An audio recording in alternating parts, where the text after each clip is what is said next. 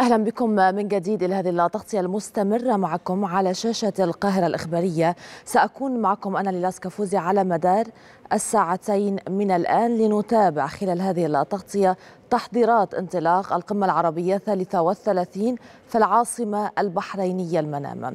أيضا نتابع تداعيات العدوان الإسرائيلي على قطاع غزة. والبداية ستكون مع القمة العربية.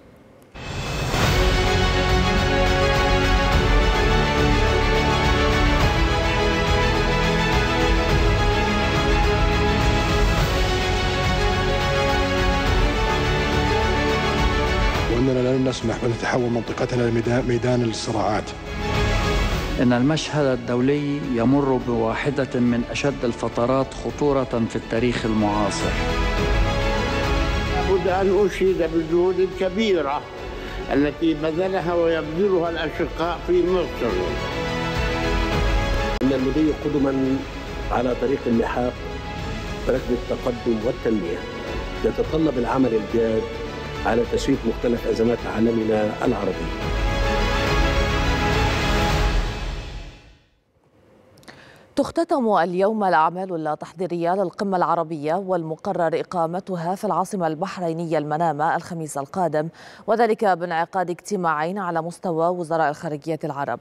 وسينعقد اليوم اجتماع مجلس الجامعة العربية على مستوى وزراء الخارجية في إطار التمهيد لأعمال القمة العربية ووضع اللمسات الأخيرة على مشروعات القرارات السياسية التي من المقرر مناقشتها وإقرارها من قبل القادة العرب.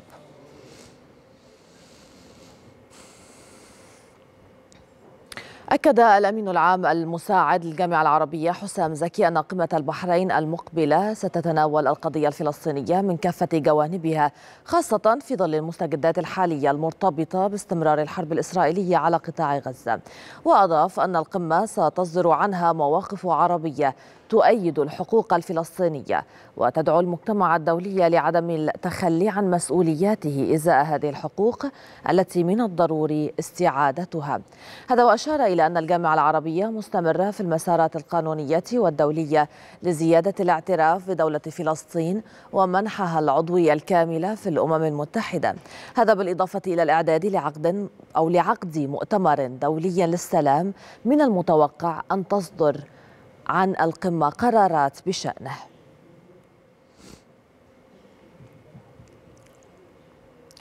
القضية الفلسطينية قضية العرب المركزية فهي الملف الحاضر دائما على مدار اجتماعات القادة العرب في القمم العربية السابقة. ومنذ القمة العربية الأولى لم تخلو مقررات أي اجتماع عربي أيضا من قرارات لدعم فلسطين والدفاع عنها في مواجهة أي اعتداء إسرائيلي. منذ عام 1946 ومع التئام العرب في قمتهم الأولى كانت وما زالت القضية الفلسطينية ملفا حاضرا بشكل دائم في اجتماعات القمم العربية. وفي ظل الثوابت المبدئية العربية لم تخلو مقررات أي اجتماع عربي من قرارات تدعم فلسطين وتدافع عنها في مواجهة أي اعتداء إسرائيلي. ظل الدعم العربي لفلسطين حاضرا على المستويات كافة. السياسية منها والاقتصادية والإنسانية. وفي خضم التحديات التي تواجهها القضية الفلسطينية لا سيما مع التوسع الاستيطاني والتصعيد المستمر في قطاع غزة. وكذا خلافات أقطاب الحكم في الداخل الإسرائيلي. تسعى القمة العربية الثانية والثلاثون في السعودية إلى دعم الموقف الفلسطيني في مواجهة ممارسات وسياسات الحكومة الإسرائيلية الحالية. على الرغم من التحديات المختلفة التي تشهدها المنطقة العربية، يبقى الموقف العربي ثابتا وداعما للحقوق الفلسطينية الشرعية، مع المطالبة بتطبيق القرارات الأممية ذات الصلة وضرورة إيجاد حل عادل ودائم لقضية العرب المركزية. تاريخ ممتد ل 77 عام منذ انطلاق أول قمة عربية للتأكيد على عروبة فلسطين من خلال قمة أنشاص وفي ظل التطورات المتلاحقة إقليميا ودوليا جاءت أهمية انعقاد القمم العربية التي خرجت بمئات القرارات ساهم بعضها في لم الشمل العربي. المزيد في العرض التالي مع الزميلة رغدة منير. مرت مسيرة القمة العربية بمحطات عدة كانت بينها طارئة وأخرى عادية ويحمل بعضها وصف قمة تاريخية انطلاقا من ظروف الانعقاد أو القرارات أو حضور أو غياب بعض الدول. أولى هذه المحطات التاريخية مع الانطلاق من قمة أنشاص في عام 1946 بدعوة من الملك فاروق وحضور الدول السبع المؤسسة للجامعة العربية وأكدت عروبة فلسطين. بعد عقد جاءت قمة نوفمبر 1956 في بيروت بعنوان دعم مصر ضد العدوان الثلاثي والتأكيد على سيادتها على قناة السويس. وقد شهدت قمة القاهرة في يناير 1964 تحولا تاريخيا في مسيرة العمل العربي المشترك إذ اكتسبت القمم العربية صفة رسمية وشددت في قراراتها على وجوب تنقية الأجواء العربية من الخلافات. قمة الخرطوم في عام 1967 كانت على خلفية النكسة وعرفت بقمة الآت الثلاث التي وجهت إلى إسرائيل. لا صلح ولا تفاوض ولا اعتراف. عقبت قمة الجزائر في نوفمبر 1973 انتصار أكتوبر وأكدت تقديم جميع أنواع الدعم المالي والعسكري للجبهتين السورية والمصرية ضد العدو الإسرائيلي. ثم قمة بغداد نوفمبر 1978 والتي أقرت عدم الموافقة على اتفاقية كامب ديفيد ونقل مقر الجامعة العربية من القاهرة إلى تونس. في نوفمبر 1987 عقدت قمة عمان وخرجت بعدة قرارات كان أهمها إنهاء المقاطعة مع مصر وإعادة العلاقات الدبلوماسية من جديد. وعلى إثر هذه القرارات عادت الجامعة العربية إلى القاهرة عام 1990 قمة بيروت مارس 2002 إحدى القمم المهمة حيث تبنت مبادرة ولي العهد السعودي آنذاك الأمير عبد الله بن عبد العزيز والتي عرفت فيما بعد بمبادرة السلام العربية. وفي 2019 عقد اجتماع على مستوى القادة العرب عقد في مكة المكرمة في قمة غير عادية لبحث تداعيات الهجوم الحوثي على محطتي ضخ النفط في السعودية. قمة الجزائر كانت الأولى التي يلتقي فيها الملوك والرؤساء والقادة العرب في إطار الجامعة العربية بعد ثلاث سنوات بسبب جائحة كورونا والتي أكدت على مركزية القضية الفلسطينية والتمسك بمبادرة السلام العربية وحماية القدس والمطالبة برفع الحصار عن غزة. إذا كان هذا عرضا لأبرز محطات القمم العربية التاريخية وما تمخضت عنه من قرارات وإعلانات من خلال الجامعة العربية. للمزيد من المتابعة تنضم إلينا من المنامة أمل الحناوي مفادة القاهرة الإخبارية. صباح الخير يا أمل أهلا بك إذا كيف تبدو الاستعدادات لديك؟ وكيف هي استعدادات ربما البحرين لاستضافة القمة العربية الثالثة والثلاثين؟ صباح الخير إلاس وأهلا بكل السادة المشاهدين في كل مكان. بداية أنهت مملكة البحرين كافة الاستعدادات التحضيرية لاستضافة القمة العربية الثالثة والثلاثين وأيضا الاجتماعات التحضيرية لها وتعد للاس كما تعلمي هذه هي القمة الأولى التي تستضيفها البحرين على أراضيها. لذلك السبب تبذل المؤسسات البحرينية قصارى جهدها لإنجاح هذه القمة و ولخروج الفعاليات بأفضل شكل بما يتناسب مع أهمية هذا الحدث. تأتي طبعا يعني انعقاد هذه القمة في ظل ظروف صعبة تعاني منها المنطقة أو تمر بالعالم أيضا مما يتطلب مواقف عربية موحدة للتعاطي مع الأحداث الإقليمية وأيضا الأحداث الدولية خاصة العدوان الإسرائيلي الغاشم على قطاع غزة والذي اقترب من دخول شهره الثامن على التوالي دون وجود أي أفق تلوح في يعني دون وجود أي حلول تلوح في الأفق القريب. حتى الآن طبعا باستمرار العدوان الإسرائيلي بسبب تعنت تل أبيب المستمر. تصادف أيضا استضافة قمة البحرين احتفال المملكة البحرينية باليوبيل الفضي لتولي الملك حمد بن عيسى الخليفة مقاليد الحكم. حينما يعني نرى كيف استعدت البحرين؟ نرى تزين شوارع المملكة البحرينية هنا بالأعلام للدول العربية المشاركة في هذه القمة. وأيضا نجد صور القادة والرؤساء والزعماء المشاركين في هذه القمة تملأ شوارع المنامة. نعم. نعم.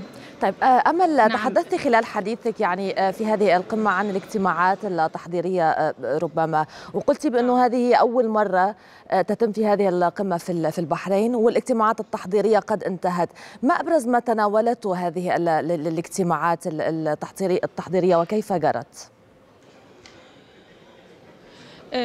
بداية ليلاس من المقرر أن تعقد بعد قليل اجتماعات وزراء الخارجية العرب التحضيرية للقمة والذين يبحثون البنود الخاصة والمدرجة على جدول أعمال هذه القمة ويتناقشون أيضا حول مشاريع القرارات المنتظر أن تخرج من هذه القمة. بدأت بالفعل الاجتماعات التحضيرية للقمة السبت الماضي هنا في المنامة حيث عقد يومي السبت والأحد الماضيين اجتماعات المجلس الاقتصادي والاجتماعي على مستوى كبار المسؤولين وعلى مستوى وزراء الاقتصاد والمالية. لبحث حوالي 12 بند تتعلق بالجوانب الاقتصادية وبالجوانب الاجتماعية أيضا والتنموية من أبرزها خطة الاستجابة الطريقة للتصدي لتداعيات العدوان الإسرائيلي على فلسطين وجريمة الإبادة الجماعية التي يرتكبها جيش الاحتلال وترتكبها إسرائيل بحق الفلسطينيين.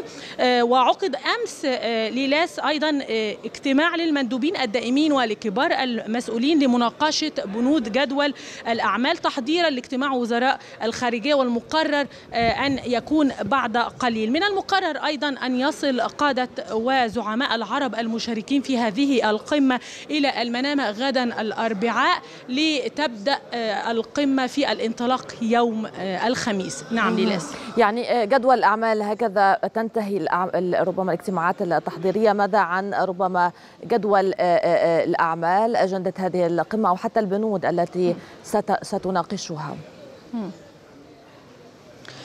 نعم هناك خطة طرحتها دولة فلسطين على القمة تتناول الخسائر تتناول الأضرار الناتجة عن العدوان الإسرائيلي الوحشي على قطاع غزة وعلى الشعب الفلسطيني في القطاعات الصحية والاجتماعية وأيضا الاقتصادية والبنية التحتية ومراحل وبرامج الإغاثة والاستجابة العاجلة لحاجات الفلسطينيين. تشمل يعني الخطة على مرحلتين تشتمل عليهم هذه الخطة هذه الخطة. الأولى هي برامج تتعلق بالاستجابة الطارئة والإغاثة الشاملة والمرحلة الثانية سيتم العمل عليها في وقت لاحق فيما يتعلق بالإنعاش وأيضا إعادة الإعمار. هناك أيضا جدول أعمال وبنود ستناقشها القمة ليلاس. يتضمن جدول الأعمال حوالي 32 بند في مقدمتهم القضية الفلسطينية والصراع العربي الإسرائيلي وسبل مواجهة هذا العدوان الإسرائيلي على غزة كما تضم أيضا أجندة القمة بحث تطورات الأوضاع في كل من سوريا ولبنان وليبيا واليمن والصومال وجزر القمر وجيبوتي.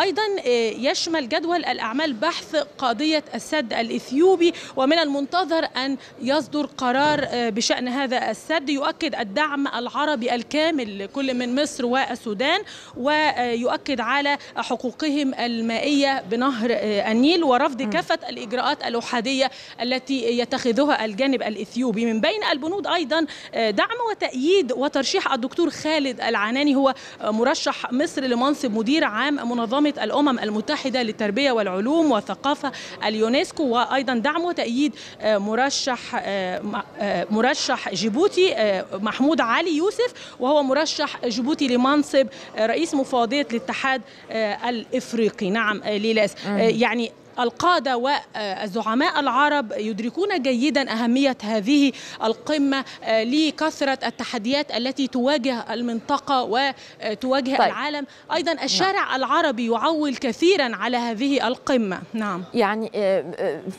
يعني كما ذكرت بالفعل هي قمة عربية مهمة جدا في ظل هذا التوقيت الحساس ربما التي تشهد أو الذي تشهد المنطقة العربية بأكملها. هنا أمل ما المتوقع المتوقع من هذه القمة نظرا لوجودك في البحرين من خلال الأجواء التوقعات؟ هل نتطلع ربما لنتائج لقرارات من هذه القمة قمة البحرين تلبي بالتالي تطلعات الشارع العربي كما ذكرنا في ظل هذا التوقيت الحساس؟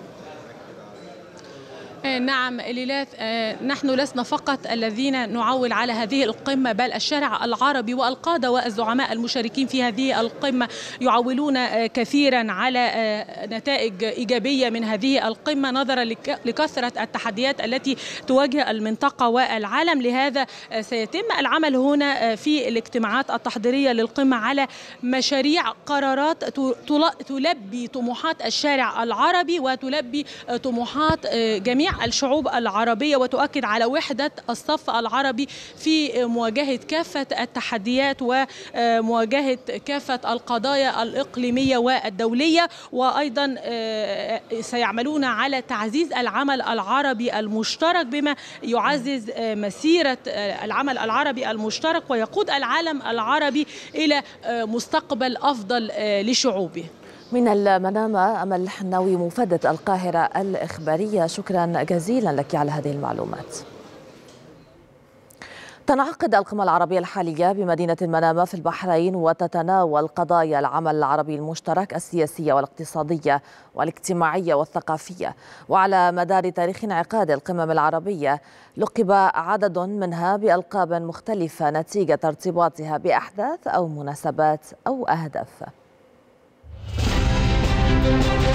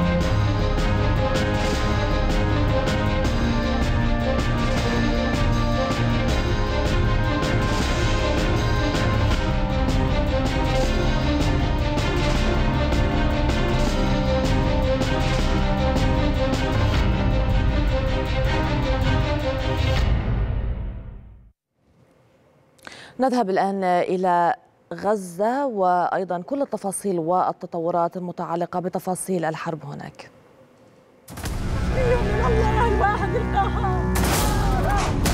عشوائي. كمان وموت إيش المعتبرات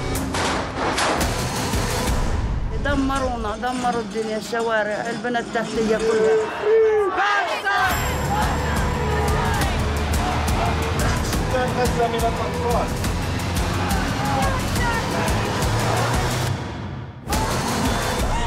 we have seen a shocking increase in extremist disruption and criminality.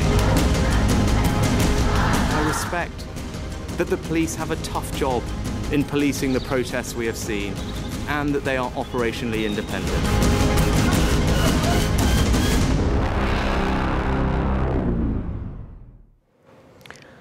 أفاد مراسلون بمعبر رفح من الجانب المصري باستمرار أصوات القصف المدفعي وسماع انفجارات متتالية لقوات الاحتلال في المناطق الشرقية من مدينة رفح. كما أضاف أن قوات الاحتلال استهدفت مبنى تابع للهلال الأحمر الفلسطيني شمال مدينة رفح الفلسطينية. وقد أجبرت قوات الاحتلال أو أجبرت قوات الاحتلال عددا من المراكز الطبية الواقعة في مدينة رفح الفلسطينية على الإخلاء. في ظل تفاقم الأوضاع الإنسانية جراء العدوان الإسرائيلي على قطاع غزة تتواصل الأكاذيب الإسرائيلية بشأن عدم مسؤولية سلطات الاحتلال عن توقف دخول المساعدات الإنسانية ومواد الإغاثة. في المقابل بذلت الدولة المصرية جهودا كبيرة خلال الشهور الماضية لتيسير دخول المساعدات وقادت الجهود الإنسانية وحافظت على فتح معبر رفح لإدخال المساعدات واستقبال الجرحى والمصابين. من جديد تواصل حكومة الحرب الإسرائيلية التنصل من مسؤوليتها الكاملة عن تفاقم الأوضاع الإنسانية في قطاع غزة جراء عدوانها المستمر على القطاع منذ أكثر من سبعة أشهر. الحكومة الإسرائيلية ومن يدور في فلكها من وسائل إعلام غربية حاولت على مدار الساعات الماضية الترويج لبعض الأكاذيب ونشر التقارير المضللة عن عدم مسؤوليتها عن وقف المساعدات واتهام الجانب المصري بعدم التعاون في هذا الإطار. ومن جملة ما روجته تلك التقارير من أكاذيب ما أثير عن تنسيق إسرائيلي مع الجانب المصري قبل الاستيلاء على معبر رفح من الجانب الفلسطيني. الأمر الذي نفته القاهرة جملة وتفصيلا. وكذلك الجانب الأمريكي الذي أكد عدم حدوث أي تنسيق مسبق. كما واجهت واشنطن نقدا لاذعا لتل أبيب على خلفية تلك الخطوة مثمنة دور مصر وجهودها الكبيرة لحل الأزمة بصفة خاصة وفي المنطقة بصفة عامة. الأكاذيب التي روجتها الدوائر الإسرائيلية ومن يدور في فلكها أغفلت أن الاستيلاء على الجانب الفلسطيني من معبر رفح ما هو إلا محاولة لشرعنة وجود إسرائيل كسلطة احتلال ومن ثم ترسيخه من خلال تنسيق دخول المساعدات مع مصر وهو الأمر الذي رفضته القاهرة بشكل قاطع ومما يدحض الأكاذيب الإسرائيلية في هذا الشأن قيام إسرائيل بإعاقة دخول المساعدات إلى القطاع وذلك بالمخالفة لقرار محكمة العدل الدولية الذي أصدرته في مارس الماضي بضرورة زيادة قدرة وعدد نقاط العبور البرية المفتوحة إلى غزة وإبقائها مفتوحة وإلزام تل أبيب بتقديم تقرير إلى محكمة العدل الدولية في غضون شهر واحد وهو ما لم تقم به تل أبيب حتى الآن الآن وعلى مدار أكثر من سبعة أشهر من العدوان كان العالم أجمع شاهدا على الموقف المصري الثابت في تيسير دخول المساعدات وتأكيد القاهرة المستمر على عدم غلق المعبر منذ اليوم الأول من العدوان وعلى مر أيامه. كما أن التقارير الإسرائيلية وفي معرض الترويج لأكاذيبها تغافلت عمدا عن تقارير المنظمات والهيئات الدولية التي أكدت المسؤولية الكاملة لتل أبيب عن عرقلة دخول المساعدات الإنسانية. إلى القطاع. ومن هنا يتبين أنه يجب على إسرائيل أهمية تصحيح إجراءات التصعيد الأخيرة باحتلال معبر رفح من الجانب الفلسطيني وتسليم مسؤوليته لعناصر من قوات أمن السلطة الفلسطينية الشرعية لتتولى إدارة المعبر بالتنسيق مع مصر. الأمر الذي سيؤدي بالفعل لتيسير نفاذ المساعدات إلى القطاع وانحصار دور تل أبيب على عمليات الرقابة والتفتيش فقط. وبحسب مراقبين فإن الادعاءات التي تروجها إسرائيل في الوقت الراهن ليست سوى محاولات بائسة من جانب الحكومة الإسرائيلية لشرعنة خطواتها الأخيرة وليس المقصود منها دخول المساعدات إلى القطاع. وبعكس الأكاذيب الإسرائيلية وادعاءاتها الزائفة قضت مصر الجهود الدولية على المستوى الإنساني والإغاثي لتخفيف معاناة الشعب الفلسطيني. كما أن جهودها لإيصال مساعدات سواء عبر الممرات البرية أو الإنزال الجوي ما تزال مستمرة. وفي ظل التعنت الإسرائيلي وانطلاقا من دورها في دعم الشعب الفلسطيني انضمت مصر إلى جنوب إفريقيا في الدعوة المقدمة ضد إسرائيل في محكمة العدل الدولية لوقف الجرائم والانتهاكات الإسرائيلية بحق الشعب الفلسطيني. نقل موقع والا الإسرائيلي عن مسؤولين في تل أبيب قولهم أن إسرائيل تريد عودة معبر رفح للعمل في أسرع وقت ممكن دون أن يكون الجانب الفلسطيني منه خاضعا لسيطرة حماس. وأشار الموقع إلى أن السلطة الفلسطينية رفضت مناقشة سيطرتها على معبر رفح قبل الإفراج عن أموال المقاصة الفلسطينية.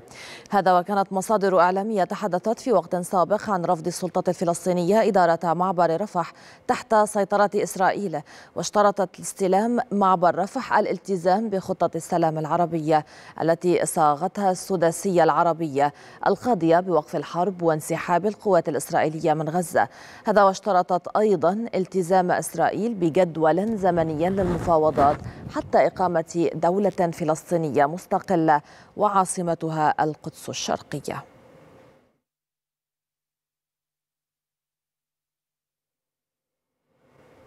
ينضم إلينا من معبر رفح أيمن عماد مراسل القاهرة الإخبارية. أيمن كيف تبدو التطورات في معبر رفح من الناحية المصرية؟ وأيضا هل ما زلت تسمع دوي الانفجارات والقصف في معبر رفح من الناحية الفلسطينية؟ كيف تبدو وتيرته؟ نعم يعني القصف متغير من ساعة إلى أخرى. نتحدث بأن هذه الليلة كانت هادئة نسبيا عن الليلة السابقة التي كانت دامية وغير يعني وكانت قاسية بشكل كبير على الفلسطينيين الذين عانوا من جراء هذه الليلة السابقة التي كانت يعني أو تذكرنا بالأيام الأولى من الحرب على قطاع غزة نظرا لبشاعتها وحيث كانت يعني ارتقى على أثارها حوالي يعني 57 شهيدا وأيضا أصيب 52 من الجرحى والمصابين نتيجة لسبع مجازر ارتكبها الاحتلال الإسرائيلي على مدينة رفح الفلسطينية. نتحدث أيضا بأن في ظل هذه المجازر التي ترتكبها قوات الاحتلال الإسرائيلي على قطاع غزة تحديدا على المناطق الشرقية والجنوبية في رفح إلا أن لا زال الوضع الذي يقوم به الاحتلال الإسرائيلي بحجب إيصال المساعدات الإنسانية والإغاثية إلى الشعب الفلسطيني نتيجة للاحتلال الذي يمارسه على منفذ رفح البري من الجهات الفلسطينية وإغلاق منفذ كرم أبو سالم لا يسمح بإنفاذ أي من المساعدات الإنسانية أو استقبال الجرحى والمصابين. منظمة أطباء بلا حدود خلال الساعات الماضية يعني أشارت إلى خطورة الوضع في مدينة رفح نتيجة للحصار المحتدم الذي يمارسه قوات الاحتلال الإسرائيلي على يعني الفلسطينيين وأيضا أشار إلى يعني اقتراب نفاذ المخزون من يعني المواد المواد الحيوية وغير ذلك المستلزمات العلاجية التي بطبيعة الحال تستخدم في تقديم العلاج الحاله تقديم العلاج للجرحى والمصابين الذين اقترب عددهم من الثمانين ألف جريح ومصاب حالة إنسانية صعبة للغاية يعاني منها الفلسطينيون من هذه الحرب التي لم تتوقف منذ قرابة ثمانية أشهر وتزداد حدتها في الأيام. نتحدث بأن بالتزامن مع ذلك إلا أن منفذ رفح من الجهات المصرية لا زال يفتح الأبواب يتأهب على مدار الساعة لإنفاذ أي من المساعدات الإنسانية واستقبال الجرحى والمصابين كعادته خلال الأيام السابقة قبل أن يقوم الاحتلال الإسرائيلي بحجب كل شيء حينما قام بالسطو والاستيلاء على منفذ رفح من الجهات الفلسطينية. حالة هذه التأهب تتمثل في يعني الاستعدادات اللوجستية متمثلة في اصطفاف طبعا الشاحنات المساعدات بالآلاف انتظارا للدخول محملة بالمساعدات الإنسانية وغير ذلك من المساعدات الغي... العلاجية وأيضا الإيوائية التي بطبيعة الحال يحتاجها الفلسطينيون في هذه المحنة التي تعد هي الأعنف في التاريخ الحديث. نتحدث أيضا بأن هناك مخازن لوجستية خصصتها مصر في مدينة العريش لتستقبل هذه يعني الشاحنات المساعدات أو أيضا لتخزين المساعدات في الثلاجات وغير ذلك للحفاظ عليها أطول فترة ممكنة لتتمكن مصر من إنفاذها إلى قطاع غزة في أقرب وقت ممكن. نتحدث أيضا بالتزامن مع ذلك هو التأهب الكامل من قطاع الصحة المصرية بتمركز عربات الإسعاف سواء في داخل منفذ رفح أو خارج منفذ رفح البري يتناوب عليه بشكل دوري الأطباء الذين دفعت بهم وزارة الصحة المصرية تتأهب بهم واستعدادا لأي طارئ قد يحدث نتيجة لإنفاء يعني بعدما لو قام يعني الاحتلال الإسرائيلي بالسماح للجرحى والمصابين بالعبور مرة أخرى إلى مصر حينما كنا نتابع خلال الفترة الماضية قدمت مصر العديد من يعني المساعدات أو إنفاذ المساعدات إلى الجهات الأخرى وأيضا قدمت الرعاية الصحية الكاملة للجرحى والمصابين الذين كانت تستقبلهم قبل يعني أن يمنع كل شيء نتيجة للاحتلال الإسرائيلي الذي يمارس في هذه الأيام على منفذ رفح البري من الجهات الفلسطينية.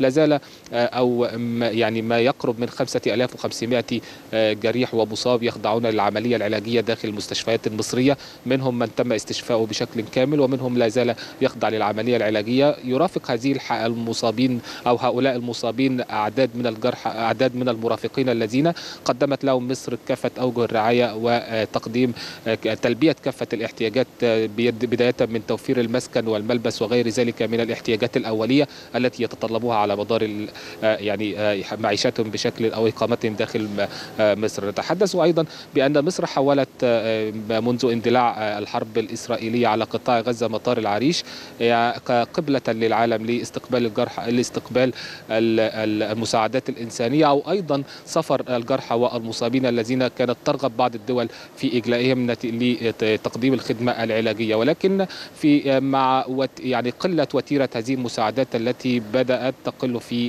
يعني خلال هذه الأيام من قبل الدول إلا أن مصر تساهم بشكل كبير في إرسال المساعدات الإنسانية والتي تتدفق عبر الأراضي المصرية أو غير ذلك من المؤسسات المجتمع المدني ك يعني التحالف الوطني المصرية أو مؤسسة حياة كريمة التي تواصل إرسال المساعدات الإنسانية التي تصطف بالعشرات والمئات وصولا إلى مدينة العريش العريش استعدادا لإنفاذها إلى قطاع غزة. الوضع هنا داخل منفذ رفح البري من الجهات المصرية مستقر في حالة تأهب حالة من الهدوء كما نشاهد بعكس التوترات التي تشهدها الجهات الأخرى والتي تبعد قرابة 500 متر فقط من هذه النقطة. من معبر رفح أيمن عماد مراسل القاهرة الإخبارية شكرا لك. تمنع إسرائيل مرور المساعدات عبر المعابر إلى داخل القطاع وهذا كما يعد معبر إيريز واحدا من المعابر التي تتحكم بها إسرائيل وهو مخصص لعبور الأفراد. كما أوضح الاحتلال أنه سيتم من خلاله تسليم الشاحنات التي تنقل الدقيق من برنامج الأغذية العالمي. المزيد عن المعبر في العرض التالي مع الزميل عمر مصطفى. معبر إيريز أو بيت حانون واحد من أهم المعابر بين إسرائيل وقطاع غزة مخصص لعبور الأفراد فعبره يمكن للأفراد الدخول أو الخروج من القطاع ويمر منه بصفة خاصة الصحفيون والدبلوماسيون. وعلى الرغم من أن الطاقة الاستيعابية اليومية لهذا المعبر كبيرة إلا أن الاحتلال يسمح فقط بمرور أعداد قليلة منه وبشكل يومي بل ويفرض الكثير من القيود التي تحد من تنقلات الافراد قبل أن تغلقه بالكامل. يقع معبر بيت حانون في أقصى شمال قطاع غزة. جاءت التسمية لأنه يمر من المدينة التي تحمل الاسم نفسه. وكما ذكرنا هو مخصص للأفراد بينما تخصص معابر أخرى لنقل البضائع أو غيرها كمعبري كرم أبو سالم أو معبر المنطار. تبلغ الطاقة الاستيعابية لمعبر إيريز نحو عشرين ألف فرد في اليوم الواحد وقبل العدوان الإسرائيلي كانت سلطات الاحتلال تقوم بتشغيله بأقل من قدرته فالفارق كبير بين الحالات الفعلية للمرور وبين حالات العبور التي يستطيع هذا المعبر التعامل معها. شكل من أشكال الانتهاكات والإجراءات التعسفية التي يمارسها الاحتلال ضد الفلسطينيين. وبوصف معبر إيريز في وسائل الإعلام الإسرائيلية بأنه ممر طويل يبدأ عند حاجز على الجانب الفلسطيني فيما تبدأ المحنة الحقيقية عند البوابات الفولاذية الإسرائيلية المسبوقة بحواجز حلزونية لا تسمح إلا بمرور شخص واحد ويخاطب فيها المار عن بعد دون أن يرى أو يعرف من يكلمه وهو مسلط عليه إضاءة مبهرة ومحاط بكاميرات من كل الزوايا ويسمع محدثيه عبر مكبرات صوت وقد يحقق معه عن بعد أيضا. ثم يمر الأشخاص والأمتعة المصحوبة معهم عبر أجهزة كشف معادن غاية في التطور. كما يدير عملية المرور من المعبر عسكريون إسرائيليون للتحقق من أوراق الثبوتية وكأنها بمثابة حدود دولية حقيقية. يبقى معبر إيرز على حجمه وأهميته وشدة تحصيناته نقطة هامة في أزمة غزة الأخيرة التي لعبت فيها المعابر دورا هاما سواء كمناطق اشتباك وفرض سيطرة أو كنقاط عبور للمساعدات إلى القطاع المنكوب. أعلنت وزارة الصحة الفلسطينية ارتكاب جيش الاحتلال ثماني مجازر ضد العائلات في قطاع غزة. وصل منها للمستشفيات 82 شهيد و234 مصاب خلال ال 24 ساعة الماضية. وفي بيانها أكدت ارتفاع حصيلة العدوان الإسرائيلي إلى 35173 شهيد وإلى 79 1061 مصاب منذ السابع من أكتوبر الماضي. مشيرة إلى أنه لا يزال عدد من الضحايا تحت الركام وفي الطرقات لا تستطيع طواقم الإسعاف والدفاع المدني الوصول إليهم.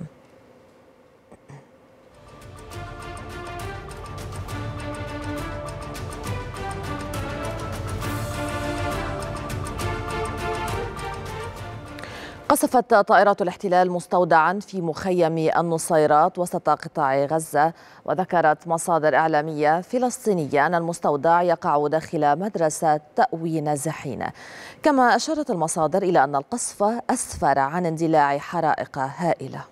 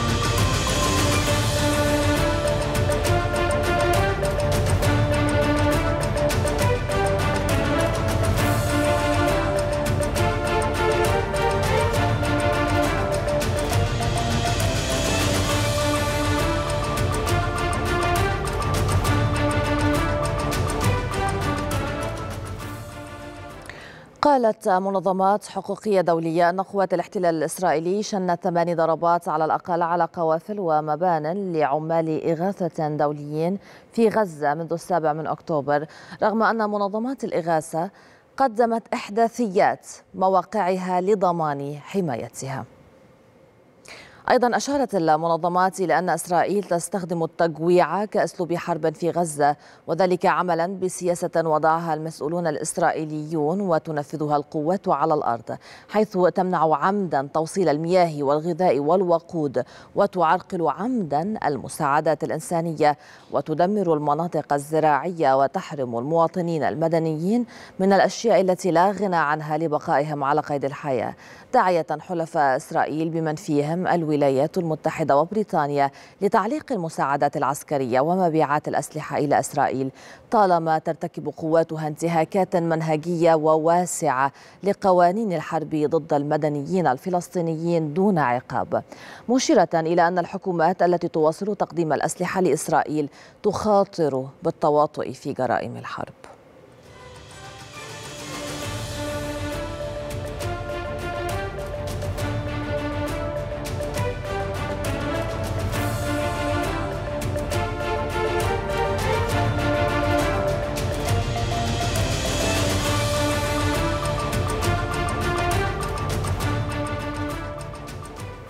تنضم إلينا من رغم الله دكتورة تمارا حداد الكاتبة والباحثة السياسية. برحب حضرتك دكتورة تمارا معنا في هذه الساعة الإخبارية. آه، دعيني أبدأ معك. ربما تطورات عديدة إن كان على آه، آه، يعني بالنسبة للوضع الميداني وحتى الإنساني تجري. ولكن دعينا نبدأ بالتطورات السياسية الأخيرة. ربما أهمها كان تقرير وزارة الخارجية الأمريكية بالأمس. كان هناك عشر نقاط دكتورة تمارا تطرقت إليها الخارجية الأمريكية وأيضا جاك سولفيان. كيف وجدت؟ وتقرأ لنا ربما هذه النقاط إن كان من حيث المضمون أو حتى من حيث النبرة. بداية تحياتي لكم ولقناتكم الكريمة. من يقرأ تصريحات قيادات مسؤولي الولايات المتحدة الأمريكية يلاحظ أن هناك تناقضات في التصريحات سواء كان من قبل سوليفان سواء كان من وزير الخارجية أنتون بلينكين سواء كان من إدارة البيت الأبيض ذاته بمعنى بايدن ذاته. هناك تناقضات في التصريحات. لماذا هذه التناقضات؟ هي تخرج بشكل متعمد حتى لا يتم إعطاء الصورة الدقيقة حول موقف الولايات المتحدة الأمريكية في تعاملها مع الحرب على قطاع غزة وأيضا مع علاقتها مع إسرائيل. بمعنى سوليفان يوم أمس أشار في نقطتين وهي عملية أن واقع إسرائيل أن تدافع عن نفسها فيما يتعلق أن واقع حركة حماس لن يتم القضاء عليها وأنه سوف يتم إبقائها على واقعها السياسي. فبالتالي هناك تناقضات في هذا التصريح هناك يشيرون إلى واقع استمرارية الحرب. وأن من حق إسرائيل أن تدافع عن نفسها والحفاظ على أمنها. وأن الولايات المتحدة الأمريكية ما زالت هي حتى هذه اللحظة مستمرة في هذا الدفاع ضمن سياق تقديمها لها المعونة. حتى لو يتم لم يتم الإشارة ما هي هذه المعونة كون أن واقع الذخيرة تم تقليصها تم تخفيضها لكن حتى هذه اللحظة تم الإشارة أن ما زالت الولايات المتحدة الأمريكية تدافع عن علاقتها الاستراتيجية وإن كان هناك خلافات تكتيكية فيما يتعلق إدارة الحرب حتى حول المدنيين الفلسطينيين أو على مستوى المساعدات الإنسانية. لكن فيما يتعلق النقطة التي تم الإشارة إليها أن واقع القضاء على حركة حماس أن قد يتم عملية إبقائها ضمن سياق البعد الضعيف أو إعادة هيكلتها من جديد أو إعادة واقعها السياسي. حتى هذه اللحظة واقع الخطة السياسية أو الخطة اليوم التالي فيما يتعلق انتهاء هذه الحرب هي غير موجودة على أرض الواقع إذا تحدثنا بكل المنطق اولا نتنياهو يتحدث بشيء والواقع الأمريكي يتحدث بشيء آخر تصريحات حتى على مستوى طيب. قيادات الولايات المتحدة الأمريكية غير واضحه المعارف وبالتالي ما يحدث الآن على أرض الواقع إذا تحدثنا ميدانيا أن إسرائيل ما زالت متماهية مع تنفيذ مخططاتها في قطاع غزة بمعنى انهاء واقع كتائب المسلحة بالتحديد الواقع السلاحي لحركة حماس وإعادة هيكلية قطاع غزة عفوا من جديد بما يتلائم مقتضيات الأمن القومي الإسرائيلي وبما يتلائم مع المصالح الاقتصادية المستقبلية من خلال إعادة هيكلية جغرافية قطاع غزة أيضا ديموغرافية قطاع غزة. واضح تماما أن خريطة القطاع غزة الآن هي ترسيخ أكثر من استراتيجية. استراتيجية عزل المناطق عن بعضها بالتحديد في منطقة قطاع غزة. عزل حي عن حي آخر عزل منطقة عن منطقة أخرى. ناهيك عن نهر السريم الذي سوف يفصل المنطقة الشمالية طيب سأعود معك دكتورة تمارا ربما يعني للأهداف الحقيقية من قبل الاحتلال الاستمرار في هذا العدوان وأيضا التوجه إلى جنوب قطاع غزة على الرغم من الجهود الجهود اللي كانت ربما مستمرة بما يتعلق بموضوع الهدنة وموافقة حماس أيضا على المقترح المصري. ولكن أريد العودة إلى موضوع ربما الإدارة الأمريكية وكما ذكرت في بداية حديثك هذه التصريحات المتناقضة التي تأتي على لسان مسؤولين أمريكيين وحتى على لسان بايدن. يعني هنا دعيني أطرح لك البعض من هذه التناقضات. بالأمس تقرير الخارجية الأمريكية وأيضا ما قاله جاك سلوفيان يقول بأنه لم نرى منعا من جانب سلطات الاحتلال لدخول المساعدات إلى قطاع غزة. يعني ما الذي تعني هذه التصريحات في هذا التوقيت؟ ألم تقل الإدارة الأمريكية نفسها بأنه يجب فتح المعبرين من قبل الاحتلال الإسرائيلي؟ أليس يعني هذا قولا صريحا بأن هناك انتهاك هناك عدم دخول مساعدات؟ طبعا الولايات المتحدة الأمريكية هي تعلم تماما أنه لا توجد هناك معابر مفتوحة بشكل رسمي في سياقات قطاع غزة. هناك إغلاق مطلق وإغلاق وحصار مطلق بالنسبة لإسرائيل حتى على مستوى معبر رفح من الجانب الفلسطيني. إسرائيل هي تسيطر عليه معبر كرم أبو سالم بالرغم من الإدارة الأمريكية أشارت إلى إسرائيل عليك أن تفتحي هذا المعبر حتى يتم إدخال المساعدات. الولايات المتحدة الأمريكية تعلم هذا السياق. لكن للأسف هناك أيضا تصريحات تشير أن إسرائيل في تقرير تم تقديمه وزير الخارجية أنتون بلينكن هذا التقرير يشير أن إسرائيل في بعض الحالات النادرة تعدت وفاقت الخطوط الحمراء أو تعدت القانون الدولي. عندما ترينا هذه التصريحات المتناقضة التي هي تأتي بشكل متعمد حتى تعمل عملية تضليل الرأي العام الخارجي تضليل الإعلام بشكل عام وحتى لا يفهم ويتم إعطاء تحليل صافي من قبل أجهزة المخابرات وتقدير موقف ومعلومات صافية كيف يفكر ال ال القيادة الأمريكية لمن موقفها وعلاقتها مع إسرائيل؟ هذا التضليل وهذه التناقضات فيما يتعلق أن يجب أن يكون هناك إدخال مساعدات وفي ذات الوقت يشير إلى واقع يجب أن يكون هناك الضغط على إسرائيل في فتح هذه المعابر. فبالتالي هذا التناقض في التصريحات باعتقادي هي مخططة هي ممنهجة حتى لا يتم إعطاء أو تحليل هذا التصريح بشكل واقعي. حتى على مستوى الجملة التي يتم استصدارها من المسؤولين الولايات المتحدة الأمريكية هي فيها تناقض. يعني يعني دكتورة تمارا هنا لا نستطيع القول بأنه ربما الولايات المتحدة أو الإدارة الأمريكية تتخبط فيما يخص موقفها مع إسرائيل. هي لا تتخبط هي تقوم بهذا السياق بشكل ممنهج حتى لا يتم إعطاء التحليل الصافي من قبل الأجهزة المخابراتية في بالتحديد في الموطن العربي في الواقع العربي. تارة يشيرون نحن مع وقت إطلاق النار وتارة يشيرون إلى استمرارية الحرب حتى القضاء على حركة حماس. كيف سوف يتعامل الموطن العربي أو هذه الدول العربية تتعامل مع هذه التصريحات المتناقضة باعتقاد هذه التصريحات هي تخرج بشكل متعمد الولايات المتحدة الأمريكية لديها مراكز وسياسات واستراتيجيات وأيضا هناك مركز الأمن القومي يتبع البنتاغون هذا يضع كل السياسات وتضع النتائج تقدير الموقف. ويعلمون تماما أن إسرائيل تقوم بإغلاق المعابر بشكل متعمد.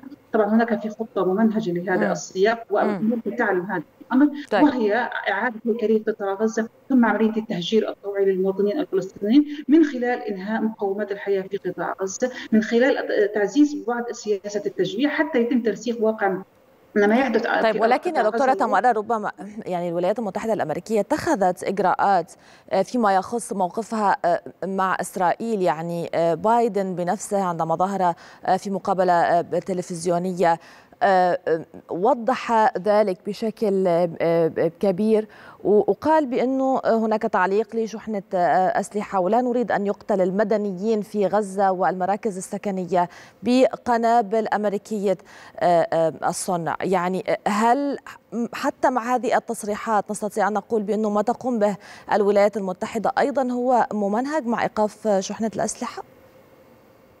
ممنهج في سياق الآن بايدن في موقف حرج. الآن هناك معركة انتخابية يحاول قدر الإمكان امتصاص غضب الرأي الداخلي الأمريكي وأيضا امتصاص حراك الطلاب في جامعة الولايات المتحدة الأمريكية. بايدن الآن بالفعل في مأزق كما نتنياهو الآن في مأزق. بايدن في مأزق أمام ما يحدث على أرض الواقع. من تم تقديم السلاح لإسرائيل هي الولايات المتحدة الأمريكية. ومن أوقف هذه الذخيرة وليست كافة الأسلحة والصواريخ وبالتحديد منذ عام منذ العام الماضي السابع من أكتوبر وكانت الولايات المتحدة الأمريكية تشحن في كل أسبوع وكل بين الفينة والأخرى عدد من إرسال الصواريخ والذخيرة والقنابل الذكية والقنابل الدقيقة والغير دقيقة. كانت ترسلها فبالتالي المصانع أو المخازن في إسرائيل هي ممتلئة على ارض الواقع. لكن هذه القنابل الذخيرة التي في مستوى إرسالها كانت هذه الذخيرة لها علاقة في المنطقة الشمالية وليس لها علاقة في منطقة قطاع غزه كون أن الولايات المتحدة الأمريكية حتى هذه اللحظة لم تعطي الضوء الأخضر لإسرائيل وبالتحديد أن الملف الفلسطيني يختلف عن الملف المناطق الأخرى. الملف الفلسطيني. أمريكا تعطيها مساحة واسعة لعملية التناول في هذا الملف الأمني الفلسطيني. هذا ما يعتبرونه في سياق جيش الاحتلال الصهيوني. فبالتالي أمريكا تعطي مساحة للتعامل مع الملف الفلسطيني لكن لا تعطي مساحة للتعامل مع المنطقة الشمالية، هذه الذخيرة كانت تتجه إلى المنطقة الشمالية حسب واقع المخططات. كان لابد أن يكون هناك حسب واقعهم أن كانوا سوف يدخلون منطقة رفح لمدة شهر أو شهرين وثم النظر في الصيف القادم شهر سبعة أو شهر ثمانية أن تفتح جبهة في المنطقة الشمالية. كون أن نتنياهو مصمم هذا السياق، بايدن علم هذا الأمر حتى لا تفتح هذه باستخدام هذه الذخيرة البالستية التي سوف تتحول إلى قنابل ذكية لم يتم إرسالها، هذا إشارة أن فتح الجبهة الشمالية لن يعني تنفذ ولن تنجح ولن ترسخ على أرض الواقع إلا بموافقة أمريكية، فبالتالي أمريكا الآن في مأزق لا تريد أن تسخن هذه الجبهات هي تحاول أن تبرد الجبهات الأخرى بالمقابل أن تحاول قدر الإمكان أن تخفف وطأة قطاع غزة بالتحديد فيما يتعلق المدنيين الفلسطينيين، لكن للأسف أن الملف الفلسطيني الوحيد التي أمريكا تعطيه مساحة في التعاون به مع من قبل إسرائيل هو الملف الفلسطيني الذي حولوه إلى قضية أمنية معاشية إدارية دون أي أفق اقتصادي أو أفق سياسي للقضية للشعب الفلسطيني. والدليل أن شعار حل الدولتين حتى هذه اللحظة لم ينفذ على أرض الواقع. والدليل الآخر أن عندما تم وضع في مجلس الأمن الدولي قرار تحويل فلسطين إلى كاملة العضوية لم تنفذها على أرض الواقع. حتى الجمعية العمومية التي تعتبر قرار هو عبارة عن توصية وقرار استشاري وليس قرارا ملزما حتى أمريكا لم تؤيد هذا السياق فإذا ما يحدث الآن من تصريحات إعلامية متناقضة تماما عن الواقع الميداني عن الواقع العملياتي عن واقع الأفعال بالنسبة للولايات المتحدة الأمريكية. إذا أرادت الولايات المتحدة الأمريكية أن تحسن حسن النوايا اتجاه الفلسطينيين على الأقل هي أن تضع مشروع لحل الدولتين حتى يكون مستقبلا حالة من رسم شرق أوسط جديد يعني يزدهر حسب واقعهم يريدون ترسيخ شرق أوسط جديد له علاقة بالازدهار الاقتصادي والسياسي والأمني. نعم كيف سوف يكون دون حل القضية الفلسطينية؟ من رام الله دكتورة تمارا حداد الكاتبة والباحثة السياسية شكرا جزيلا لك على هذه المداخلة. قالت وكالة الأمم المتحدة لغوث وتشغيل اللاجئين الفلسطينيين الأنروا إن المناطق الداخلية في مدينة رفح الفلسطينية تحولت إلى مدينة أشباح. كما أكدت الأنروا أن نحو 40 أو 450 ألف شخص نزحوا من رفح الفلسطينية منذ السادس من شهر مايو الجاري مضيفة أن الفلسطينيين يواجهون أزمة الجوع والإرهاق المستمر وأملهم الوحيد هو التوصل لوقف لإطلاق النار. أفادت وسائل إعلامية بتدمير قوات الاحتلال الإسرائيلي أبار المياه وشبكات الصرف الصحي في حي الزيتون جنوبية شرقي مدينة غزة. وأضافت أن آليات الاحتلال قامت بتجريف البنية التحتية والشوارع في حي الزيتون وقامت بهدم عدد من منازل المواطنين بالمنطقة.